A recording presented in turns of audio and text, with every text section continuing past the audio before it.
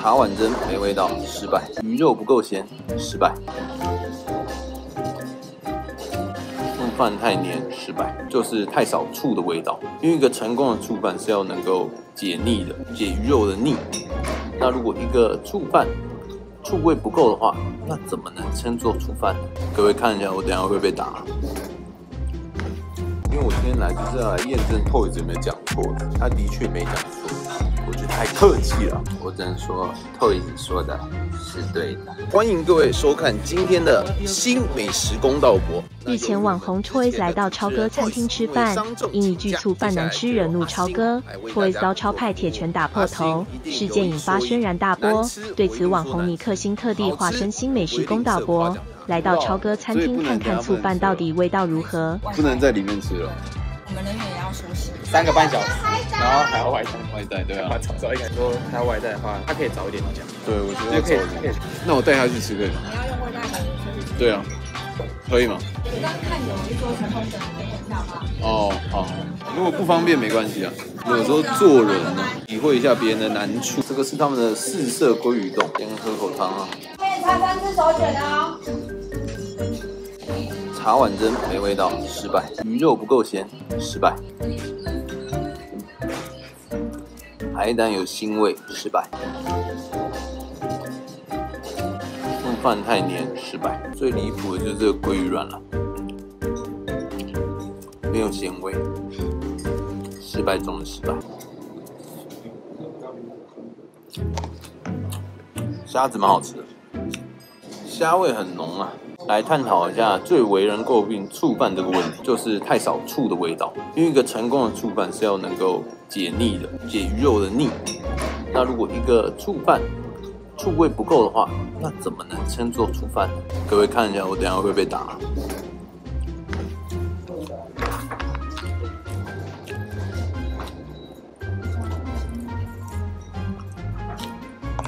我怎么会怕？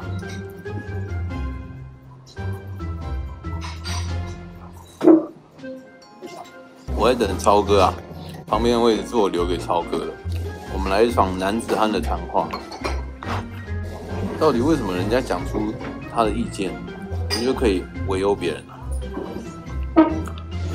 就是醋饭就很一般。现在这个店长一直潜伏在周围，东西难吃也要吃完了。像我比较看得到下面来的人，万一突然冲出几个黑衣人，大家其实先帮我报警。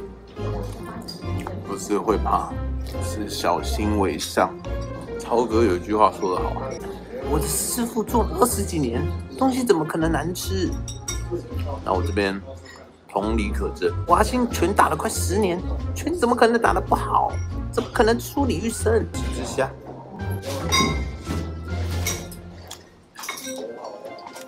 虾子还行啊，他虾子都不错。其他的话就一道蛤蜊不够鲜，失败。鲍鱼口感不错。台湾人的友善不是说吃东西嫌不好吃，批评你，你就要找人扁他一顿。台湾人友善不是这样。饭真的难吃。如果阿星有什么万一，请大家。传承我的精神。隔壁饭没吃完，因为我今天来就是要来验证 Toys 有没有讲错，他的确没讲错，我觉得太客气了。这块鱼就不错。我们有话直说，有一说一，绝不在恶势力面前低头。哎。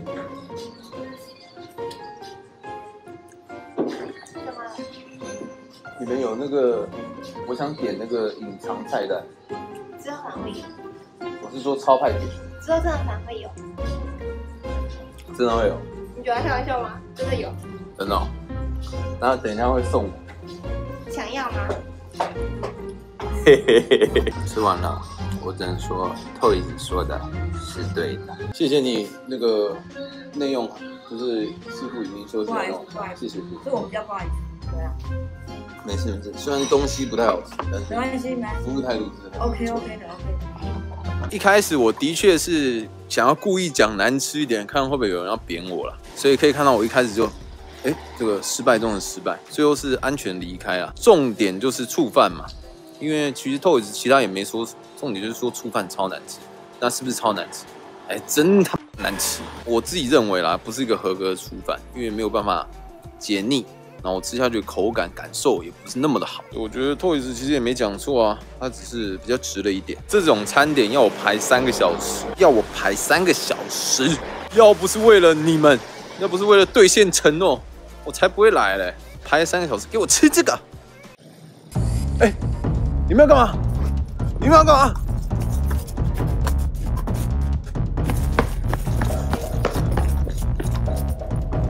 哦，没事，不是找我的。